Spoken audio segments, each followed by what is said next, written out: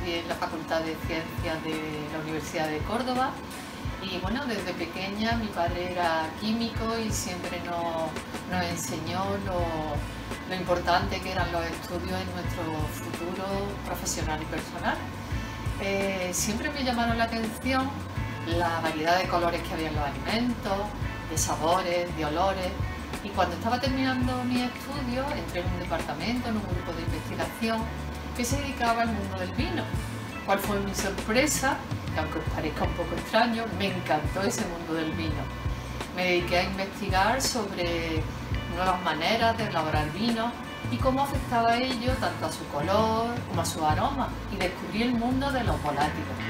Son los aromas de todos los alimentos y me dediqué a identificarlos, a cuantificarlos y bueno, esa fue mi tesis doctoral, conocer que el vino estaba formado por más de 800 compuestos diferentes que llegaban a nuestra nariz, que nos hacían disfrutar del vino.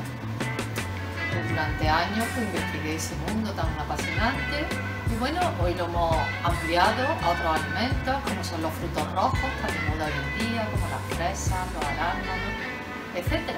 Y bueno chicos, os animo a todos a que, bueno, os dedicáis a este mundo tan apasionante que ha sido pues, toda mi vida.